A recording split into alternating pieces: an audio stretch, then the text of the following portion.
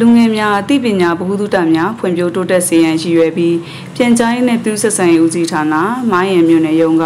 လူငယ်နှင့်ယဉ်ကျေးမှုတော်ရှိုးကိုယနေ့နေ့လယ်2နာရီကပြည်သူ့စာကြည့်တိုက်ခန်းမတွင်ကျင်းပပြုလုပ်ပါတယ်။အဆိုပါလူငယ်နှင့်ယဉ်ကျေးမှုတော်ရှိုးကိုမိုင်းရံမြို့နယ်ပြန်ကြားရေးနဲ့ပြည်ဆက်ဆံရေးဦးစီးဌာန ဦးစီးရာရှိဒေါခင်မာလာနဲ့ဦးဆိုင်လာရွှေတို့က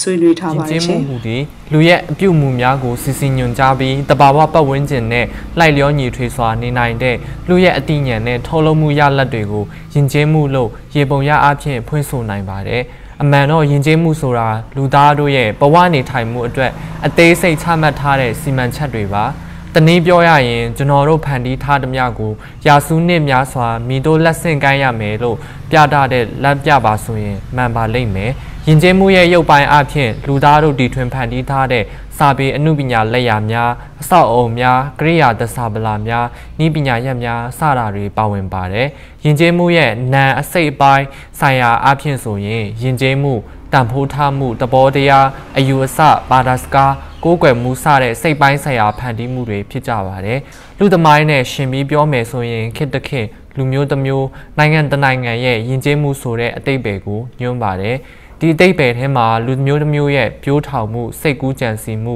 တည်ထွင်ဖန်တီးမှုအတွေ့အခေါ်နဲ့ကြိုးပမ်းအားထုတ်မှုတွေပါဝင်တယ်လို့လူမျိုးတစ်မျိုးရဲ့စာရိမှန်ကိုလည်းဖော်ညွှန်းပါတယ်။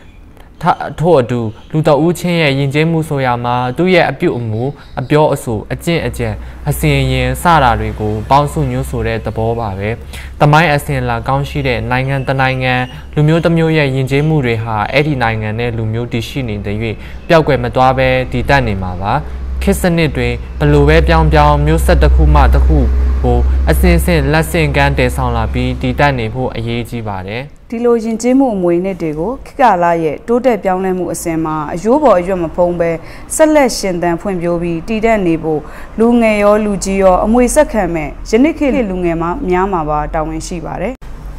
လူငယ်တွေဟာစိတ်ခံစားမှု feeling လို့ပြောတဲ့ ခံစားမှုပေါ်အခြေခံတဲ့ယဉ်ကျေးမှုမျိုးတဲ့စဉ်းစားတွေးခေါ်မှု thinking အပေါ်အခြေခံတဲ့ယဉ်ကျေးမှုမျိုးကိုပို့ပြီးအလေးထားတဲ့နယ်လို့ယူဆပါတယ်။ဆိုလိုတာကကဘာမှာသိပ္ပံနဲ့နည်းပညာတွေအမခန်တိုးတက်ပြောင်းလဲနေတာ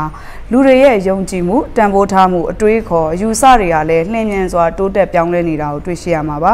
ဒါကိုကိုပိုင်ဉာဏ်အမှန်မှာခွဲခြားဆင်ခြင်ရမှာပါဒီကနေ့လူငယ်တွေဟာအတတ်ပညာနည်းပညာတွေမြင့်မားနေတယ်လို့တစ်ဖက်က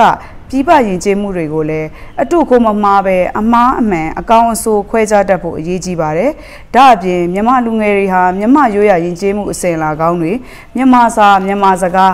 မြန်မာဂီတစာပေအမှုပညာအစတွေကိုတန်ဖိုးထားထိမ့်သိမ်းကာကွယ်ရမှာဖြစ်ပါတယ်။သို့မှသာမြန်မာယဉ်ကျေးမှုဟာရှင်သန်ဖွံ့ဖြိုးတည်တတ်နေမှာအမှန်ပဲဖြစ်ပါတယ်ရှင်။